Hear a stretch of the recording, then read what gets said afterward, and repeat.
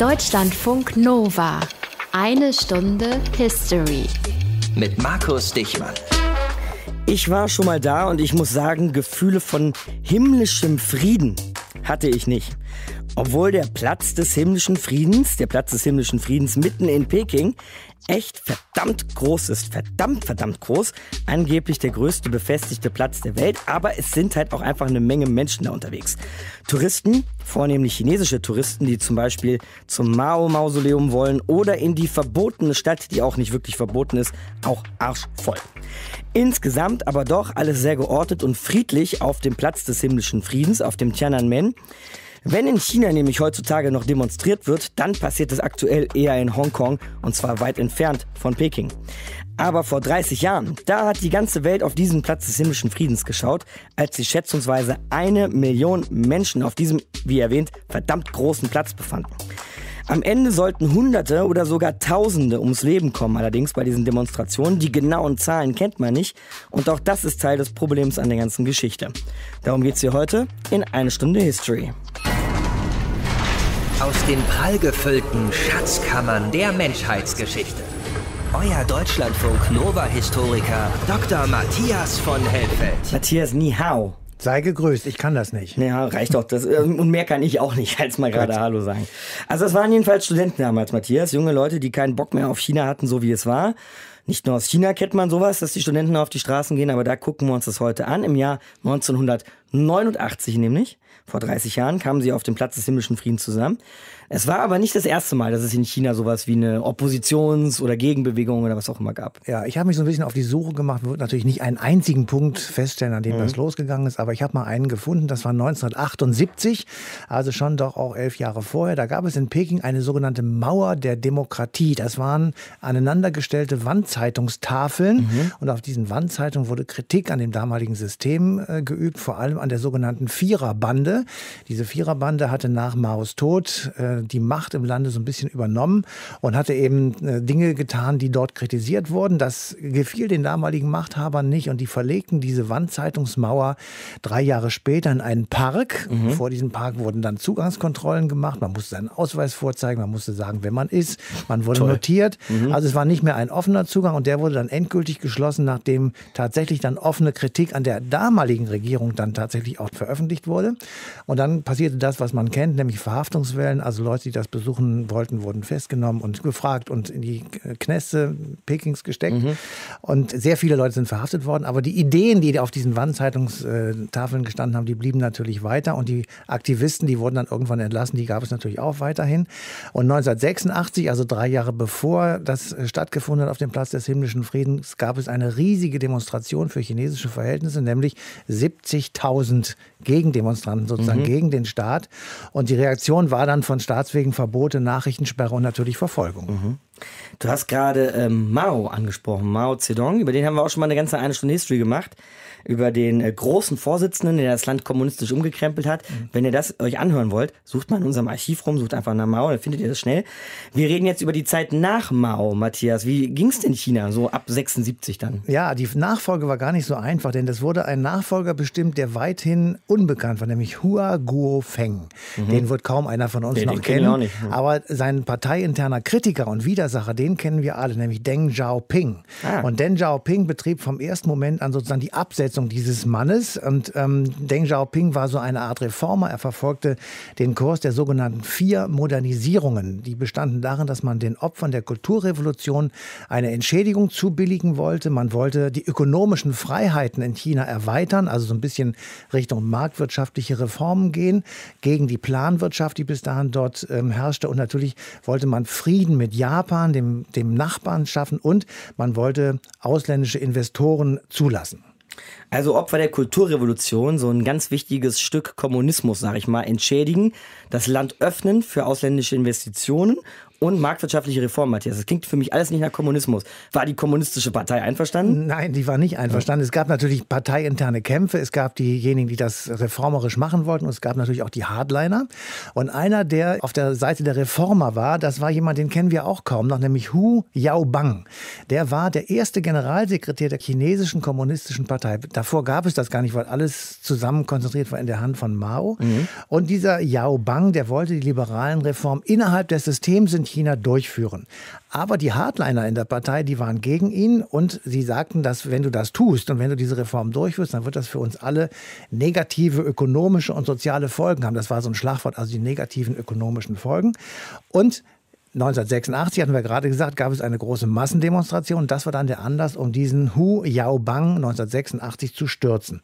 Drei Jahre später stirbt der Mann eines natürlichen Todes, nämlich an einem Herzinfarkt. Mhm. Und die Studenten dachten, da ist irgendwie nachgeholfen worden und Sie fingen wieder an, Wandzeitungen zu machen und dort schrieben sie einen Satz drauf, wir werden dich nie vergessen, wir werden ewig deinem reformistischen Weg folgen. Und das war natürlich massive Kritik und das konnte sich die chinesische KP nicht gefallen lassen. Und dann sind wir auch schon angekommen im Jahr 1989, wo es dann richtig heiß wird. Eine Million Menschen auf dem verdammt großen Platz des himmlischen Friedens. Eine Stunde History hier. In Berlin Studentenproteste, in der Türkei Studentenproteste, in Frankreich und England und in Ungarn Studentenproteste. Das sind Proteste, über die wir hier schon mal gesprochen haben in einer Stunde History, von denen sicher auch der ein oder andere hier in Deutschland ganz sicher schon mal gehört hat. Aber sowas gibt es eben auch sehr weit entfernt am anderen Ende der Welt. In China nämlich.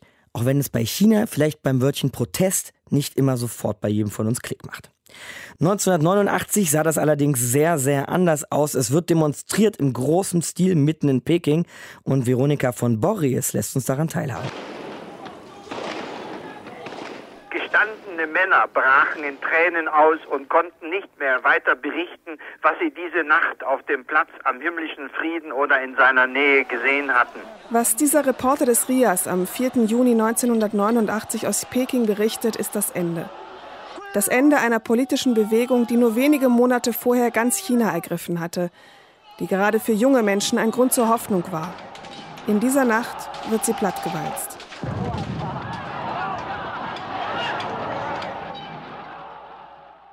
Angefangen hatte alles anderthalb Monate vorher, Mitte April, mit dem Tod des Parteifunktionärs Hu Yaobang. Er hatte sich dafür eingesetzt, das Land nicht nur wirtschaftlich, sondern auch politisch zu öffnen. Hu war damit gescheitert aber als er stirbt, gehen in Peking Tausende auf die Straße, vor allem Studenten. Sie sammeln sich auf dem zentralen Platz Pekings, dem Tiananmen, und zeigen, Hus Ideen sind immer noch beliebt. Die chinesische Staatsführung versucht erstmal die Proteste zu ignorieren. Aber es werden immer mehr, nicht nur in Peking. Studenten, Arbeiter, Intellektuelle, jeden Tag versammeln sich mehr Menschen. Einige richten ein Camp auf dem Tiananmen ein. Sie diskutieren und fordern. Gestern sprachen wir über Demokratie, Minzhou. Min bedeutet Volk, Zhou bedeutet Herr. Also müssen wir die Herrschaft übernehmen. Trotzdem sehen sich die Demonstranten nicht als Gegner des Einparteienstaates. Sie wollen das System verbessern, es ehrlicher, transparenter machen. Die Hymne des weltweiten Kommunismus, die internationale, das ist ihr Lied.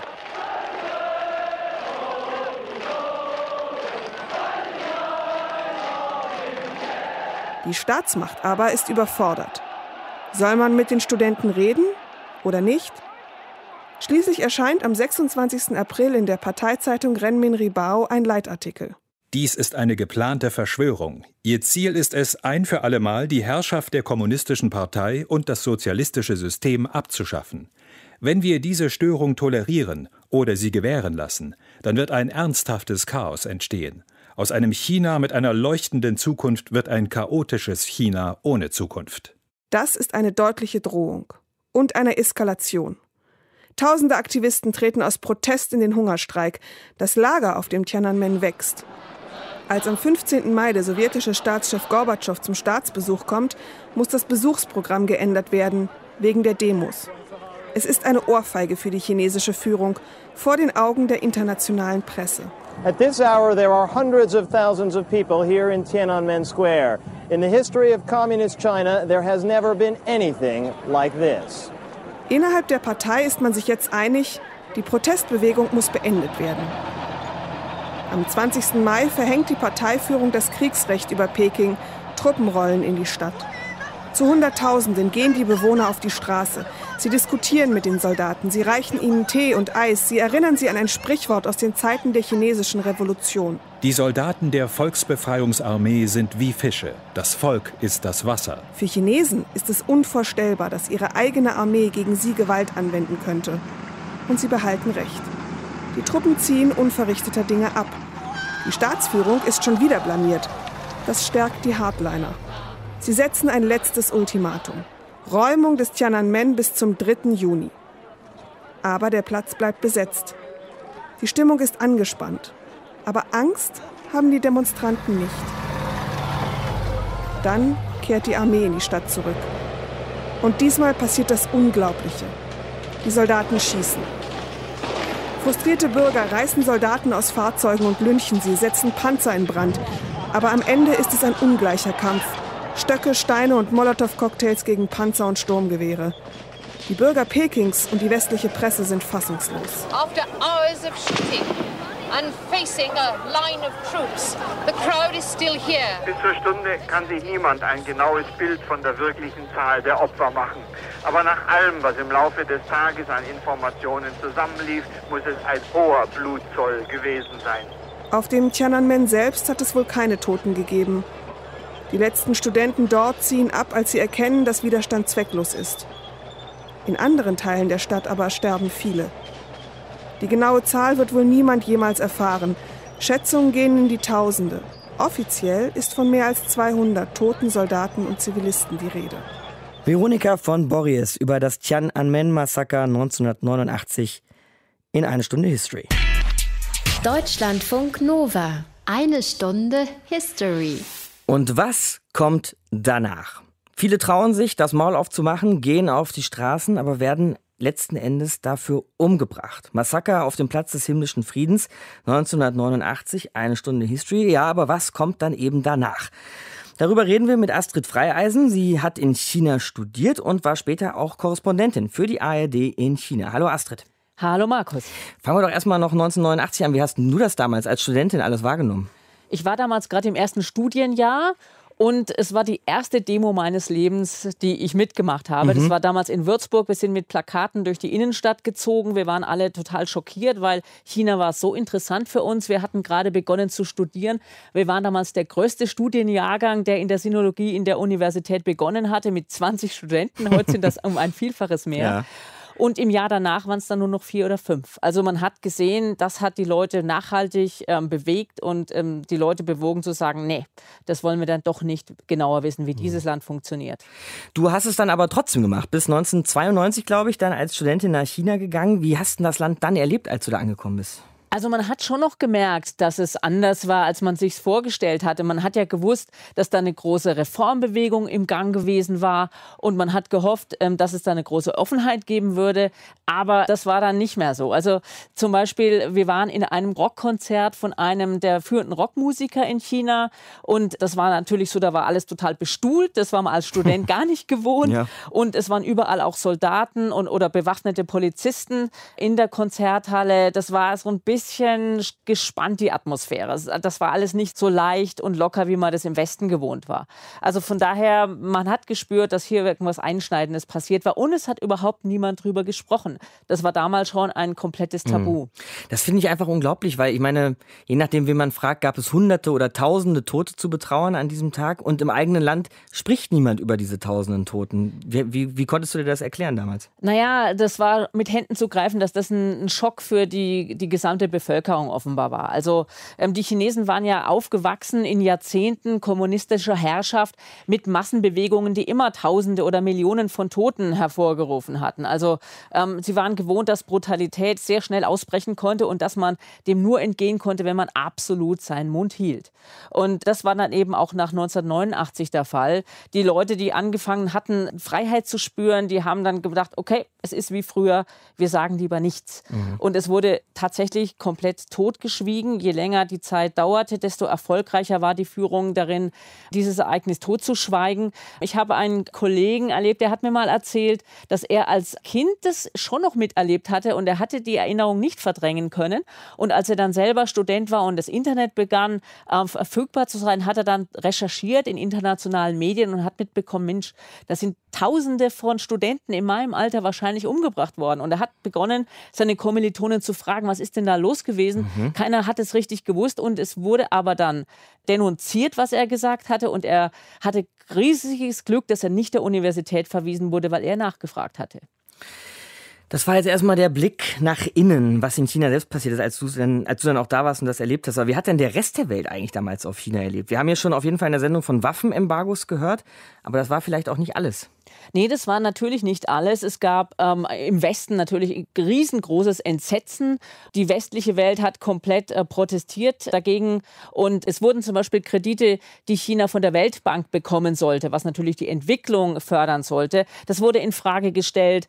Es sind sehr viele Programme des Austauschs erstmal gestoppt worden mit China, also Austausch von Politikern, Austausch von Organisationen, natürlich auch äh, Wirtschaftsorganisationen waren jetzt auf einmal viel zurückhaltend zurückhaltender. Es ist auch die Wirtschaftsleistung zurückgegangen. Man hat dann kurzfristig gespürt, dass es fast wieder so schlimm war wie nach der Kulturrevolution vor über zehn Jahren. Also es hat alles gestockt. Die Touristen sind nicht mehr gekommen. China hat wirklich gemerkt, vor allem die westliche Welt, die hat gesagt, das wollen wir überhaupt nicht. Interessant war, wie die Russen reagiert hatten. Mhm. Da war ja gerade Gorbatschow an der Macht. Es war die große Hoffnung auf Perestroika. Und der war ja auch in Peking gewesen, als die Studenten protestiert hatten, die ja gehofft hatten, Mensch, wenn Gorbi kommt, dann wird sich für uns auch was verbessern. Aha. Das war überhaupt nicht der Fall. Ähm, darauf hat die chinesische Führung überhaupt nicht reagiert, auf diese Slogans, die die Studenten gerufen hatten auf dem Platz. Und Gorbatschow selber, der war auch schockiert, als er gehört hatte, was dann letzten Endes an Blutvergießen geschehen war. Die Russen haben drei Tage nach dem 4. Juni eine Erklärung rausgegeben, in der sie gesagt hatten, ja, also das waren Zusammenstöße, es waren Massenproteste der Jugend, sie haben überhaupt keine Schuldzuweisung getroffen, also die Regierung in Peking wurde nicht ähm, bezichtigt, dass sie jetzt hier äh, die Proteste so brutal und tödlich niedergeschlagen hatten. Gorbi hat gesagt, wir müssen Ruhe bewahren. Das sei eine innere chinesische Angelegenheit, weil die Russen hatten gehofft, dass auch sie mal, wie die Chinesen, Reformen einleiten könnten, erfolgreich dann auch ihre Wirtschaft verbessern könnten, was in China ja zu sehen gewesen war. Und jetzt dieses furchtbare Ereignis, das hat natürlich ähm, auch für die Russen als Vorbild nicht mehr dienen können. Deswegen haben sie versucht, da erstmal ein bisschen Ruhe reinzubringen. Später hat Gorbatschow dann aber gesagt, also wenn er in der Lage der chinesischen Regierung gewesen wäre, er hätte versucht, mit den Studenten zu verhandeln. Das war also eine Reaktion aus Moskau, die anders war als die im Westen, weil sie nicht eine offene ja, Verurteilung von Peking hatte. Mhm. Jetzt hast du gerade beschrieben, Astrid, wie die kurzfristigen Folgen aussahen für China, weniger Touristen, weniger Wirtschaftszusammenarbeit mit dem Rest der Welt. Aber man muss sagen, bis heute, wenn man sich China anguckt, wie stark das Land ist, hat dieses Massaker dem Land nicht geschadet. Nein, also Deng Xiaoping, der ja maßgeblich dafür war, dass es so weit kommen konnte, der wollte auch nicht, dass äh, die chinesische Wirtschaft nach unten ging auf Dauer. Deswegen hat er versucht, die politische Reform von der wirtschaftlichen zu trennen. Er hat die wirtschaftliche Reform weiter befeuert und das hat man dann gesehen, dass der, der Wirtschaftsboom schnell wieder angezogen hat.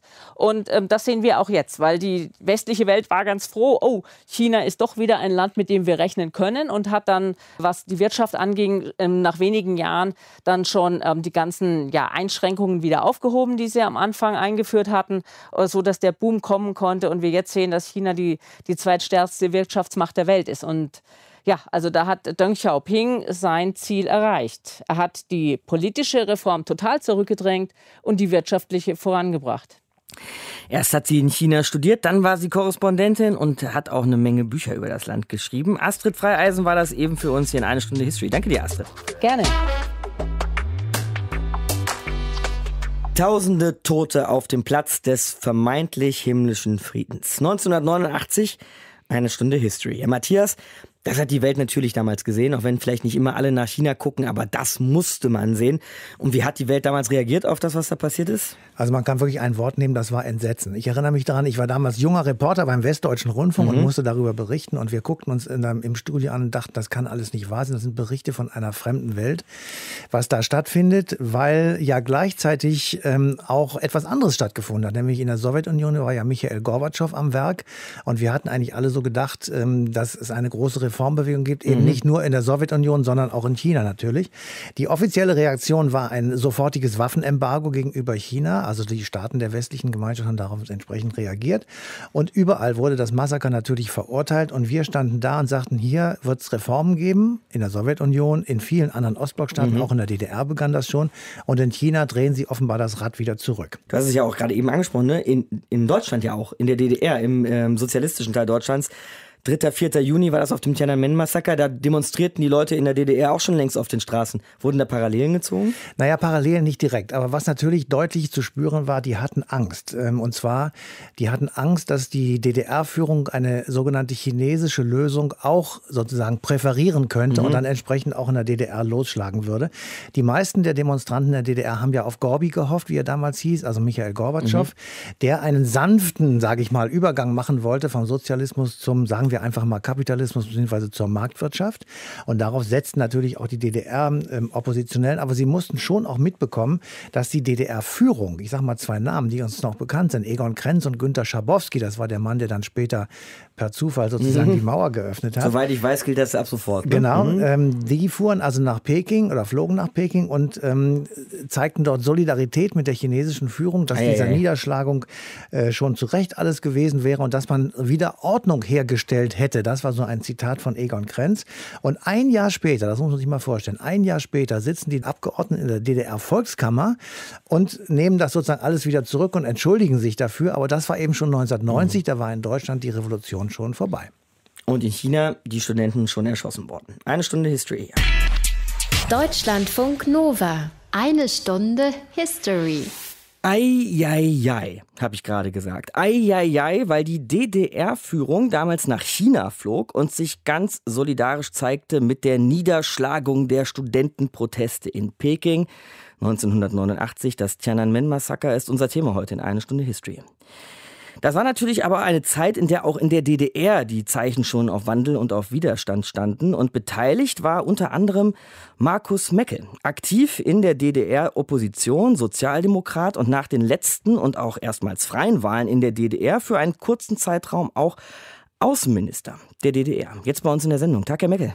Einen schönen guten Abend, Herr Diechmann. Da sei etwas getan worden, ich zitiere mal, um die Ordnung wiederherzustellen, sagte die DDR-Führung damals über das Tiananmen-Massaker. Ich würde mal behaupten, dass Ihnen das damals als DDR-Oppositioneller, also wenn ich mal ganz salopp sprechen darf, da ist Ihnen vielleicht der Arsch auf Grundeis gegangen.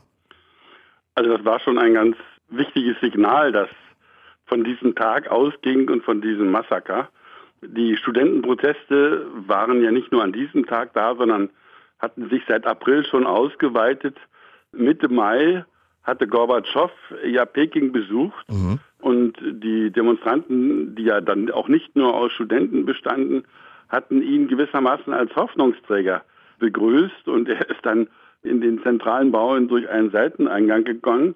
Also das heißt, es war eine Dynamik, die durchaus mit dem zusammenhing, was wir auch selber erlebten, mhm. was wenn in Polen schon der runde Tisch auf dem Weg war und am April schon abgeschlossen hatte. In Ungarn hatte man die Mauer sozusagen schon abgebaut, was wir aber erst kurz danach erfahren haben.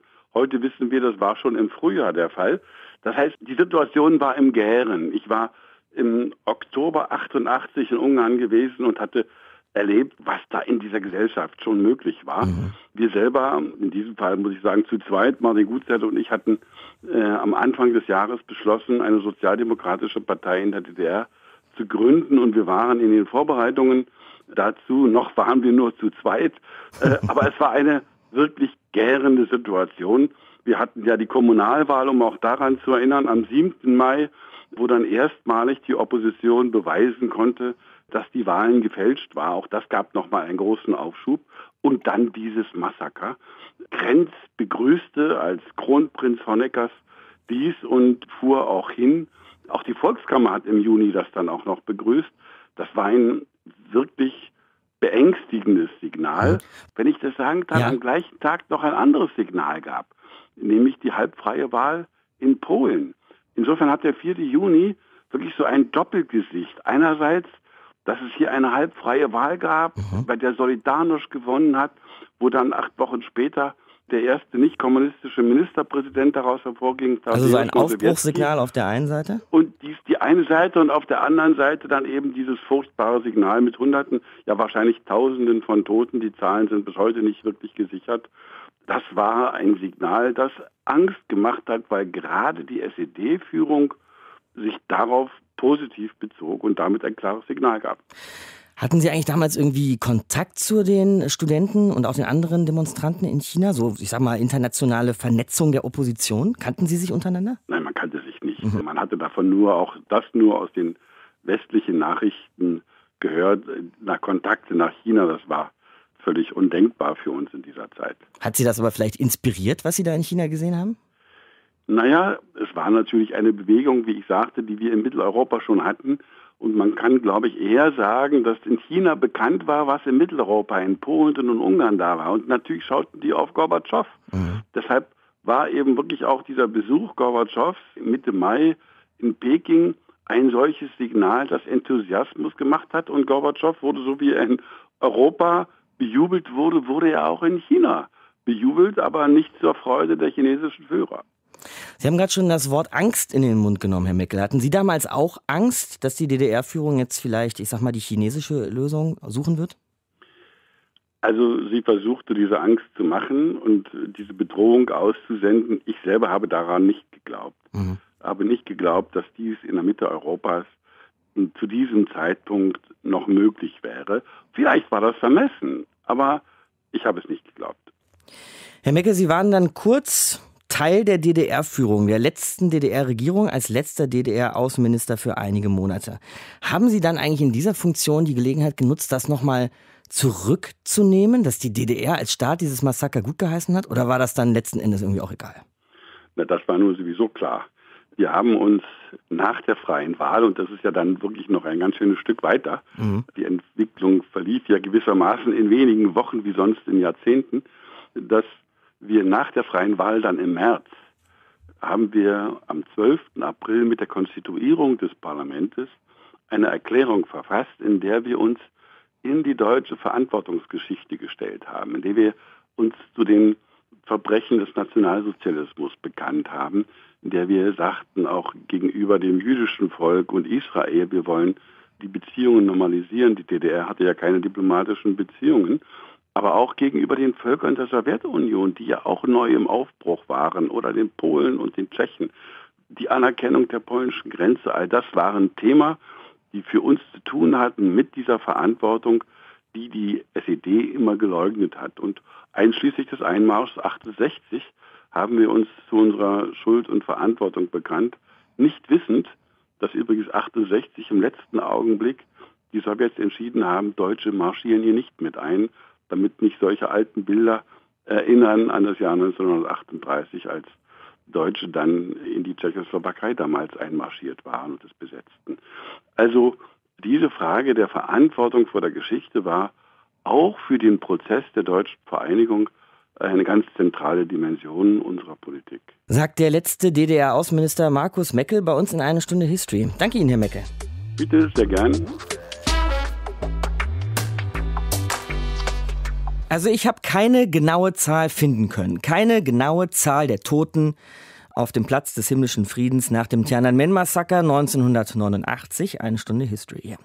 Und vielleicht sind wir damit auch schon direkt beim Kern des Problems, zumindest aus heutiger Sicht, worüber wir jetzt auch noch mit Axel Dorler sprechen wollen, unserem Korrespondenten für Peking und China. Hi Axel. Hallo. Sprechen die Chinesen über dieses Massaker? Arbeiten sie es auf? Zählen sie auch die Opfer, wie ich es jetzt gerade geschildert habe? Ich habe nämlich keine Zahlen finden können. Wie sieht das aus? Ja, es gibt äh, gerade zu den Opferzahlen ja verschiedene Angaben. Es gibt die Angaben von mehreren hundert. Es gibt auch einige Quellen in USA und England, die behaupten, äh, das seien einige tausend. Man muss aber sagen, äh, bezogen auf diese Frage, sprechen die Chinesen darüber? Mhm. Nein, eine Aufarbeitung findet in China nicht statt. Äh, zunächst mal ist es schwer, überhaupt an Quellen zu kommen. Also Chinas Staats- und Parteiführung hält Dokumente, Statistiken und Zeugenaussagen von damals unter Verschluss. Sie schweigt zu dem Thema. In China ist das Massaker von 1989 weiterhin und weitgehend tabu. Also keine Zeitung greift es hier auf. Es redet niemand öffentlich darüber. In den Schulbüchern finden die Ereignisse nicht statt.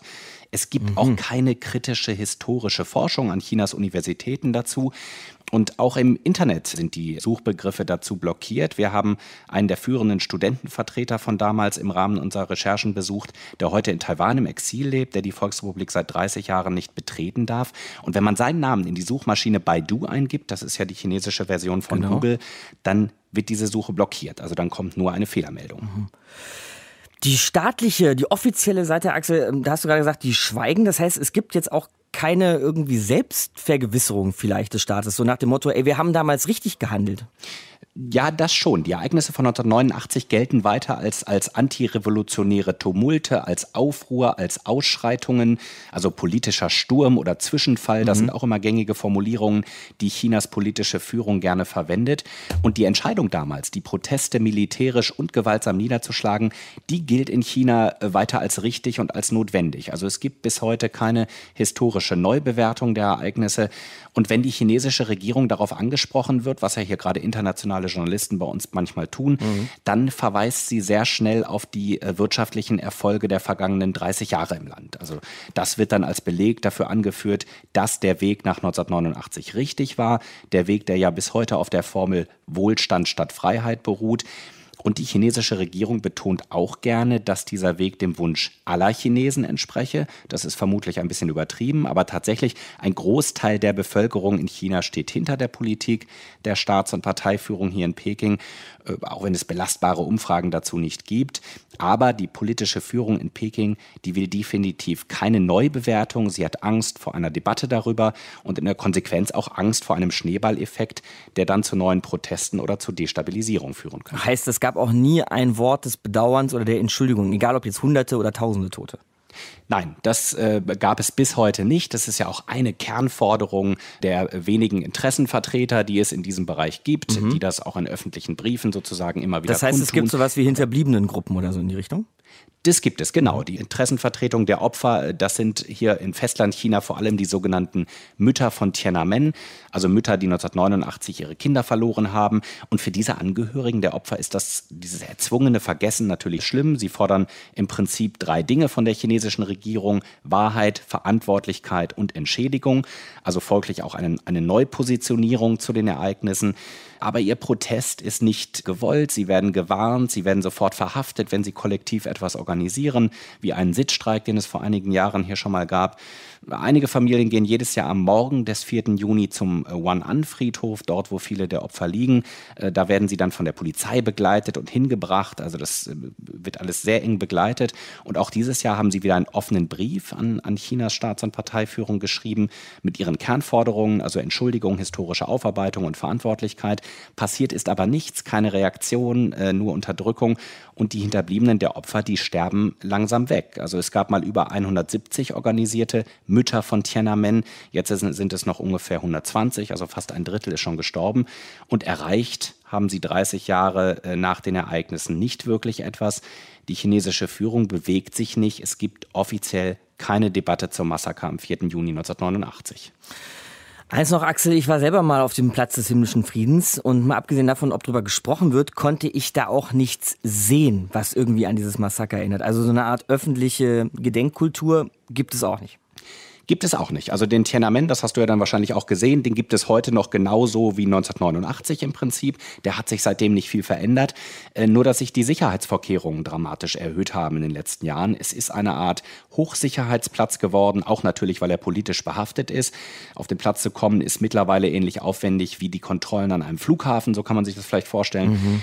Das Pflaster auf diesem Platz, das hatte nach 1989 noch Spuren von Panzerketten, die den Beleg damals kaputt gefahren haben. Das war aber nach einem Jahr alles repariert. Es gab auch in den Gassen rund um den Platz, wo ja die meisten Menschen erschossen wurden, in diesen Gassen gab es Einschusslöcher, die sind aber auch komplett verschwunden. Wer die historischen Bilder genau kennt, der findet noch Orte. Der kann durch Peking gehen und, und noch Orte von damals finden. Also zum Beispiel das Peking Hotel, aus dem dieses berühmte Foto geschossen wurde.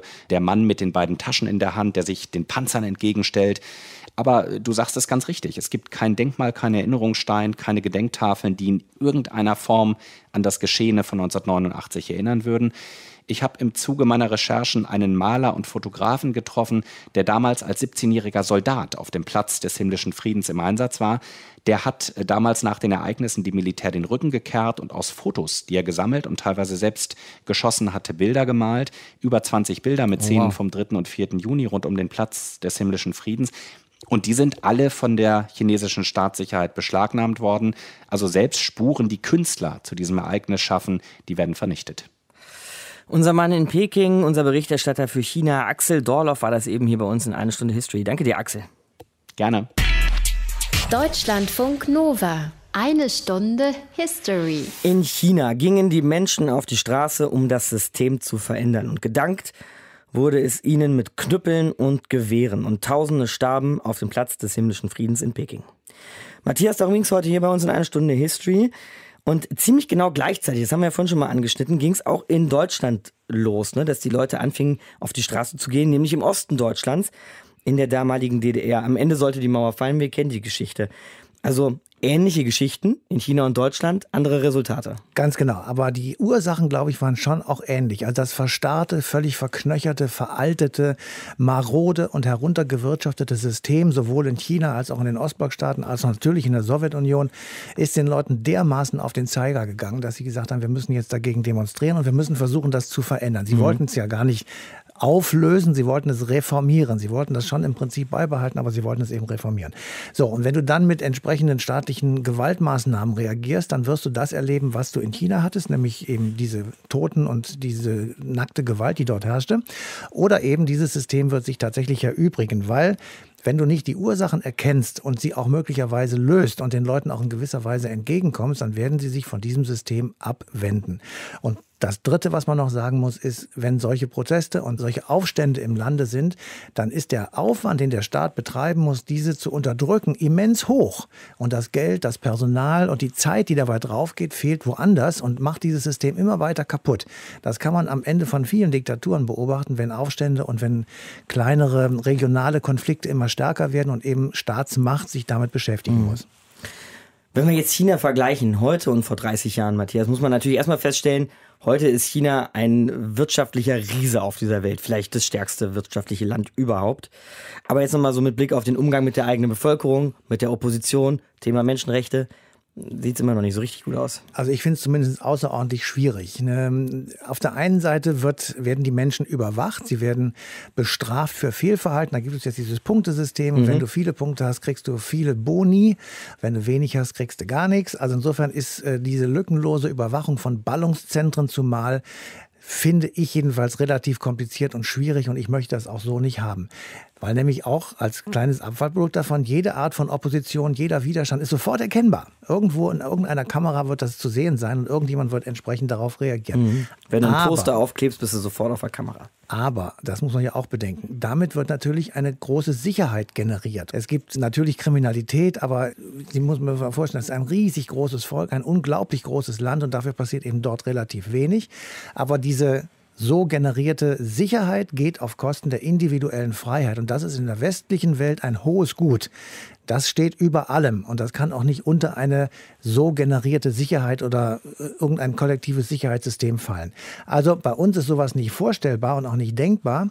Und es wäre bei uns ein Verstoß gegen die Menschenrechte, also zum Beispiel mhm. gegen Artikel 1 unseres Grundgesetzes. Aber in China wird das eben in Anführungsstrichen nicht so wichtig genommen. Dafür ist eben wichtiger der Kampf gegen Terror und Kriminalität.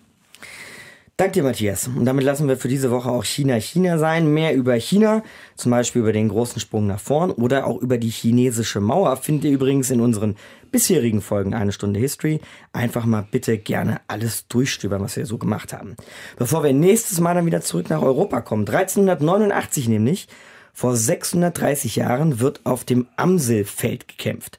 Auf dem Kosovo Polier. Da könnt ihr euch vielleicht schon denken, worum es denn nächste Woche geht, nämlich um den Kosovo und die Geschichte dieses Stück Landes. Mein Name ist Markus Dichmann, macht's gut. Ciao. Deutschlandfunk Nova. Eine Stunde History. Jeden Montag um 20 Uhr. Mehr auf deutschlandfunknova.de.